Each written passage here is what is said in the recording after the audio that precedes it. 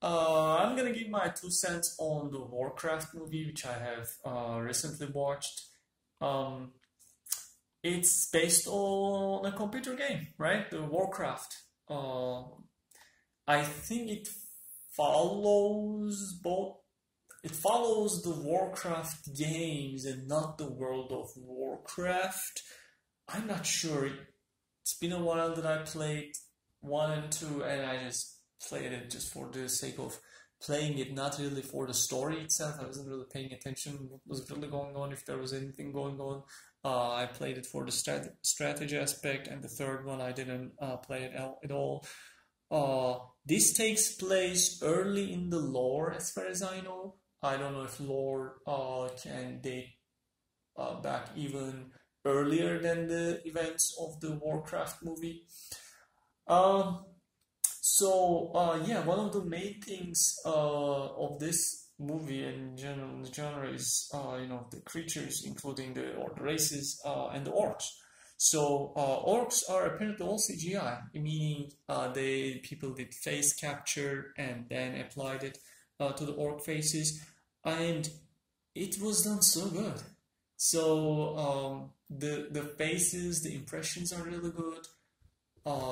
Uh, you know, if you aren't familiar with the franchise, and I wasn't, I'm still not really too much, but uh, it initially looks like like humans are good and orcs are bad type of thing, and orcs are brutes and brutals and wild creatures, whereas the civilized ones are the humans. Um, it's not really like that. Uh, so uh, the movie is trying to not paint uh, the orcs as villain. They are, however, not uh, you know uh, candy bar uh, creatures either. Yeah, they are um, strong physically, and uh, yeah, they are quite harsh. Uh, but it's explained, and the movie does a good job of explaining this within their nature of you know wild. Um, civilization, so to speak. They are definitely smart, uh, smarter than human, I would say, though uh, solve problems more with war. they like war. And um, I am a little bit familiar with the lore from the Hearthstone perspective, as I play the card game and uh, see, you know, characters as cards and such. So I could relate a little bit uh, with some of them, but still, there are so many uh, uh, heroes or uh, so many characters whose names are mentioned, and they just uh, just like introduced like that, so you don't really uh, get too much of a background stories for them. And this is a big franchise, right? So you can actually make standalone movies, in fact, for any main character, but uh, we'll see if we will see any of this. In fact, we won't even we don't even know if there is going to be a sequel uh, for this movie, uh, which is a bit of a sad thing because this movie sets this universe uh, up and um, it brings a soft conclusion to it. You know, it, even the current Warcraft is ongoing, right? World of Warcraft. So it's obvious that you shouldn't expect uh, like uh, some uh, all all villains are there are any since you know there isn't a clear uh, villain. Yeah, I can see there there there there can be villain there, but uh, or villains there, but uh, even that is not emphasized. I would say uh, they're just doing stuff the way they want. I mean, that's the whole thing of being villain anyway. But uh, yeah, so do not expect a hard conclusion at the end of the movie. Now, uh, is it worth watching? It is worth watching, I would say. If you are into action, into your into fantasy, and um, I read that they uh, have been they follow the lore mostly, although they made some changes, which is understandable. Uh, but apparently they didn't make big changes, and uh, the characters are doing, I think, okay. Uh, they, you know, they aren't very famous people. I guess I'm sure you would know some of them, but I don't really know. Uh, I can't even uh, I can't even remember the guy who played Medivh. I know that uh, I've I watched him uh, several times and he's a good actor, but I don't I don't even uh, remember his uh, name.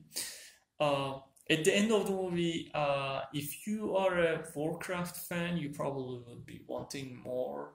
Even though in the United States it actually wasn't successful apparently, and it was much more successful overseas, especially in China. Um, which I guess is also reflective of the player base, which is sad because that means that only uh, the fans are interested in and not anybody else. Um, if they have followed the slower pace, if they have uh, like uh, divided uh, this movie and some other follow up into two, three movies and said one, two, three, and followed it like that, then uh, people were able to digest stuff much better, but it looked like they wanted to get a lot of things out in one movie, which is never a good idea.